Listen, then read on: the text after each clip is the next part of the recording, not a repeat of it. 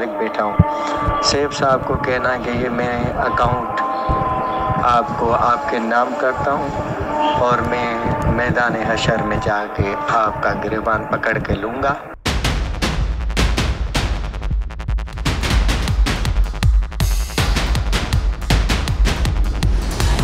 बसमीम नाजरीन अस्सलाम आप देख रहे हैं वाच टाइम्स मैं हूँ आपका मेज़बान ताहिर नसीर। नाजरीन, आज मैं बात करूँगा B for you group of companies के लालची लोगों के मौसम पाकिस्तान की और मोटिवेशनल स्पीकर पाकिस्तान के बड़े नसरबाज राजा रियाज के मलक रियाज पार्ट टू की।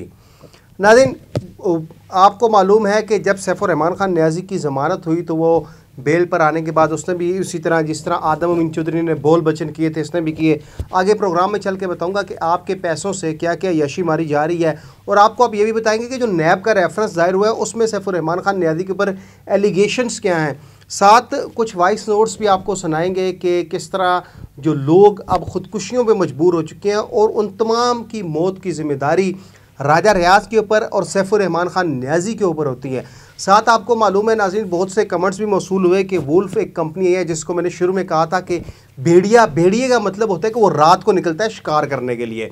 वुल्फ कंपनी के हवाले से आपको बहुत सी चीज़ें हमने कलेक्ट भी की हैं। इस हवाले से हमें एक वॉइस नोट मौसू हुआ था, जो वुल्फ कंपनी के मालिक थे जंजेब आलम का। उन्होंने उनका वॉइस नोट में आपको सुनाता हूँ कि उन्होंने उस टाइम मुझे ये आज से तकरीबन आपको बता दें, काफ़ी दिन हो गए इस बात को, जिसमें उन्होंने कहा था, जी, मैं आपको अपना मौक़ देने के लिए तैयार हूँ, लेकिन अभी तक उन्होंने मौक़ नहीं दिया। अब क्या वजूहत हैं कि क्यों उन्होंने मौक़ नहीं दिया? ये तो वही बता सकते हैं। हमने कोशिश की कि हम तो हर प्रोग्राम करने से पहले ये कहते हैं, ये ज़रा वॉइस नोट सुनिएगा, वो क्या कह रहे हैं? असलम ताहिर साहब, कैसे हैं से आपकी वीडियो देखी, ताहिर साहब, मैं चाहता हूँ, मैं कल आपको जो है एक अपना दूँ और डिटेल देना चाहता हूँ। अगर आप हमें जूम मीटिंग करें और कोई टाइम दे तो आपके साथ बैठ के डिटेल ख्याल होगा। ये नाजरीन, डिटेल मौकफ़ से इज़ार ख्याल होगा। अब जहनजेब आलम सामने तो आ नहीं रहे क्योंकि वो भी छुप रहा है और हमारी इतलात के मुताबिक उनकी भी कंपनी गैर कानूनी है। वो भी गैर कानूनी तरीके से लोगों से इन्वेस्टमेंट ले रहे हैं। लेकिन दूसरी जानब जो वो टूर्नामेंट्स करवा रहे हैं, जो उन्होंने एक के पी एल में एक कंपनी जो ख़रीदी है, गिलगित मारखोर, उस हवाले से भी बहुत सी तफसीत हमारे सामने आ चुकी हैं। वो भी आपके साथ शेयर करेंगे। हमारा काम नाजरीन सिर्फ़ ये है कि आवाम को सच बताना कि सच क्या है, क्योंकि बहुत दिनों से लोगों ने ये कंप्लेंट्स की थी कि आप वुल्फ़ के ऊपर प्रोग्राम नहीं करते। इस तरह लगता है कि आपको वुल्फ़ वालों ने ख़रीद लिया तो अल्हम्दुलिल्लाह हमें कोई ख़रीद नहीं सकता।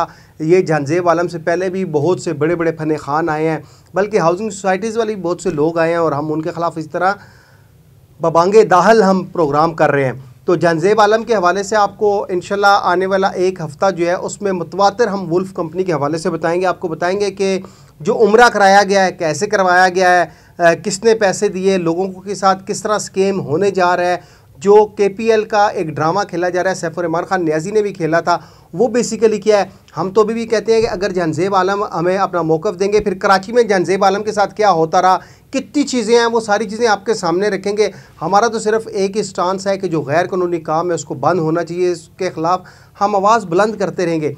कोई भी कंपनी का मालिक हमें अपना मौक़ देगा तो हम उस मौक़ से भी आपको आगाह करेंगे। आप आते हैं नादिन जो B for you group of companies के सैफुररमान खान न्याजी हैं, उन्होंने अब ये काम शुरू कर दिया कि कोई भी इन्वेस्टर आवाज़ बुलंद करता है तो उसको ग्रुपों से बाहर निकाला जा रहा है। जो एक ब्लैकमेलर हैदराबाद का था, उसने भी अब लोगों से उसने मुख्तलिफ़ ग्रुप्स में ये डालना शुरू कर दिया है कि जितनी भी यू यूट्यूबर्स हैं जो बी फॉर यू के ख़िलाफ़ वीडियोज़ बनाने, बना रहे हैं, और लोगों की वॉइस लगाते हैं, जो बी फॉर यू के ख़िलाफ़ बोलते हैं, वो आज से ऐसा नहीं करेगा, सिर्फ़ सीईओ की और राजा साहब की वीडियो और वॉइस लगा सकते हैं। और अगर वो उनकी कोई वॉइस लगाते हैं, जो बी फॉर के ख़िलाफ़ बोलते हैं तो वो फिर ज़ाद होंगे, उनका कोई वास्ता। कि भाई, इस तरह के मुख्तलिफ़ तरीक़ों से धमकियाँ दी जा रही हैं, जबकि एक हमें स्क्रीन शॉट मौसू हुआ है दुबई के नंबर से, कोई यूट्यूबर था, उसने सैफुररहमान खान न्याजी के ख़िलाफ़ वीडियोज़ बनाई तो उसको धमकियाँ दी जा रही हैं। अब सैफुररहमान खान न्याजी इन्वेस्टर्स को धमकियाँ देगा ताकि इसके खिलाफ कोई आवाज़ बुलंद ना करे। एक और हमें वॉइस नोट मौसू हुआ है, जो नौसरबाज राजा रियाज ये कहते थे कि लोग इकट्ठे नहीं होंगे तो ये राजा रियाज आपके लिए वॉइस नोट है। ये सुनने के आवाम अब सड़कों पर आने के लिए मजबूर हो चुकी है। पूरा रमज़ान गुजर गया। सैफुररहमान खान न्याजी क्वाली नाइट्स में जाता है। सैफुररहमान खान न्याजी पैसे दे के जो के, जो ट्रॉफ़ी है वो घर में मंगवाता है। सैफुररहमान खान न्याजी चार चार वीगो डाले लेके घूमता है सिक्योरिटी गार्ड्स लेके घूमता है तो वो पैसे कहाँ से आए? वो आवाम के पैसे हैं जिन पे लूट मार की गई है सैफुररहमान खान न्याजी ने। ये जो वाइस नोट है, ज़रा ये वाइस नोट सुने, फिर आगे चलते हैं। मजीद आपको डिटेल बताते हैं। असल भाई, बहुत शुक्रिया। ये ना, मैं पहले भी कह चुका हूँ, ये हमारी हैसियत का ना गलत अंदाज़ा लगा रहे हैं। ये स्क्रीन शॉट की बात करते हो, मैंने बैंक रसीद इनके जो अस्करी अकाउंट के अकाउंट से, न्याजी पेट्रोलियम के, उसके और जो इस्लामिक बैंक इसका दुबई में है, इसके और अपना और भी अपना, क्या कहते हैं यमन के। और मेरे पास अलहमदुल्ला बहुत कुछ आ चुका है। ये मैं, मुझे खामोश किसी दोस्त ने कहा था कि यार मामला तो हल हो रहे हैं, खामोश हो जाओ, थोड़ी देर के लिए ना को हौसला रखो, कोई बात नहीं है। और सैफ साहब से भी बात हुई थी और उन्होंने भी कहा था कि इंशाल्लाह मामला ठीक हो जाएँगे, राज साहब से भी बात हुई थी। लेकिन ये हटते ही नहीं है, हटते ही नहीं है बार बार ये जानबूझ के हमें मकसद तंग करते हैं, जलील करते हैं कि हमारे पैसे ही नहीं है यार। कमाल वाली बात है, हमारे पैसे ही नहीं लगे हुए। ये ये भी, ये, इन चीज़ों का भी ये गलत अंदाज़ा लगाते हैं कि ये लोग निकलेंगे नहीं। मैं खर्चा करूँगा अलहमदुल्ला लीड कोई भी करे, मेरा दोस्त कोई भी होगा, वो मेरा लीडर होगा। मुझे कहेंगे तो मैं लीड करूँगा इंशाल्लाह, और मैं जज्बाती इंसान हूँ, वहाँ सब कुछ करके दिखाऊँगा। यार, मुझे खुद को आग लगा के भी वहाँ मतलब सारा कुछ ये करना पड़ा इशू को तो मैं इंशाल्लाह हर तरीके से मतलब इनके साथ हूँ मैं इतना हाइपर हो चुका हूँ इन बातों से। मैंने सोचा था कि मामला ठंडे तरीके से हल हो जाएँगे। हम ईद के बाद, चार दिन बाद सैफ साहब से मिलेंगे और वहाँ जाके हमें कोई बेहतर मकसद खबर मिलेगी इंशाल्लाह। लेकिन ये लोग हमें जलील करने पर तुले हुए हैं मुख्तलिफ़ किस्म की हमें मतलब धमकियाँ देते हैं, गालियाँ निकालते हैं और मतलब क्या क्या लाओ, हम पे लगाते हैं, ये हमारा गलत अंदाज़ा लगाते हैं। जिस दिन हम निकलेंगे, फिर इनको जो जी जी और माशाला माशाला करने वाले होंगे, वो भी हमारे साथ वहाँ बैठे होंगे, उनको भी अंदाज़ा हो जाएगा कि पैसे हमें ऐसे ही मिलेंगे। तो पूरा पाकिस्तान भी हमारा है। ये कोई इनके बाप का पाकिस्तान नहीं है। हमारा भी पाकिस्तान उतना है अदारे भी हमारे हैं, सब कुछ हमारा है, सड़कें भी हमारी हैं, सब कुछ कर लेंगे। यकीन करें कि मेरे दोस्तों ने, मैं आपको पर्सनल में मैसेज सेंड कर सकता हूँ, जिन्होंने आज से पंद्रह दिन पहले तक बसों तक का ऑर्डर दे दिया था अंदाज़ा कर लो कि चौकी साहब आप बोलो सही, हमने कहाँ डेरा लगाना है। मैं फिर मुझे दोस्तों ने समझाया कि कुछ इंतज़ार करो, एक रमज़ान है, दूसरा फिर सीओ साहब की भी मुझे कॉल आई। तो मैं इस हवाले से, मैंने कहा, चलो कि हम कोशिश करते हैं टेबल टाक पे मसला हल हो जाए। लेकिन ये लोग बात ही नहीं आते। मजबूर करते हैं कि निकलो घर से, इंशाल्लाह। जब हम निकले तो फिर निकल के दिखाएँगे और फिर वापसी उसी वक्त होगी जब हमारा मसला हल होगा, इंशाल्लाह। जी, राजा रियाज साहब, ये अभी एक वॉइस नोट है, ये आप देख लें कि ये लोग अब निकलने पर मजबूर हो चुके हैं। आप तो बहुत ज़्यादा मोटिवेट करते हैं। अगर आप इतने ही खैर ख्वाह हैं रहमान खान न्याजी के तो आप अपने गारंटी के तौर पर चेक इन इन्वेस्टर्स को दे दें और टाइम डिसाइड कर लें कि जी, एक माह आपने बोलना नहीं है, दो माह आपने बोलना नहीं है। आप तो सिर्फ़ यूट्यूब के ऊपर वीडियोज़ बनाते हैं लंबे लंबे लेक्चर्स देते हैं जिस तरह कॉलेज यूनिवर्सिटी दौर याद आ जाता है कि जब टीचर्स लेक्चर्स दे रहे होते थे तो तो स्टूडेंट्स को नींद आ जाती थी। आप भी वही काम कर रहे हैं और लंबे लंबे लेक्चर दिए जा रहे हैं। तो राजा रियाज साहब अगर आप इतने ही खैर ख्वाह हैं सैफुररहमान ख़ान न्याजी के तो आप ऐसा क्यों नहीं करते कि आप उसके आ, उसके बिहाफ के ऊपर आप चेक दे दें? फिर आपको एक और मैं वॉइस नोट सुनाता हूँ। वो ये देख लें कि अब बात यहाँ तक पहुँच चुकी है, जो लालची लोगों का मौसम पाकिस्तान था। मोटिवेशनल स्पीकर राजा रियाज जो खुद एक बहुत बड़ा नौसरबाज है, जिसकी एफ़ आई आर भी हमने चलाई है, उस हवाले से भी हम एक प्रोग्राम करेंगे, और एफ़ आई आर हमारे पास आई हैं। वो अब मोटिवेट कर रहा है, क्योंकि वो खुद नौसरबाज है तो नौसरबाज का साथ भी नौसरबाज ही देगा।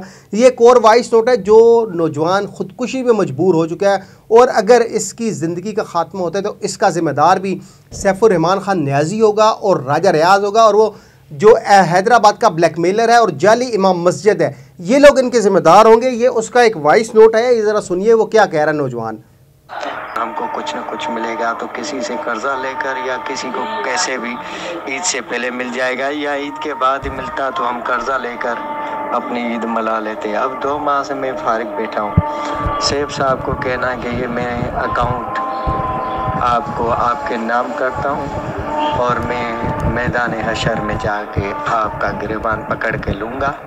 और मेरी आखिरी ये वीडियो इन उनतीस रोज़े हुए या तीस, वो मेरी ज़िंदगी की आखिरी होगी। जी तो लालची लोगों के मौसम पाकिस्तान पाकिस्तान के बड़े फ्राडी सैफुररहमान खान न्याजी, ये वॉइस नोट आप के लिए था, ये भी बच्चों वाला है। अगर ये ख़ुदकुशी करता है, अपने आप को आग लगाता है तो इसकी ज़िम्मेदारी आप पे होगी, क्योंकि आप तो अपनी पहली बीवी से अलहदगी इख्तियार कर चुके हैं, फिर वो वरियाज जो है वो भी अब अदालतों के धक्के खा रहा है। आपने तो एक, अब मैं आपको ये भी प्रोग्राम करूँगा, रुमैसा के ऊपर कि बेसिकली रुमैसा के साथ सैफुररहमान खान न्याजी की शादी किसने करवाई थी?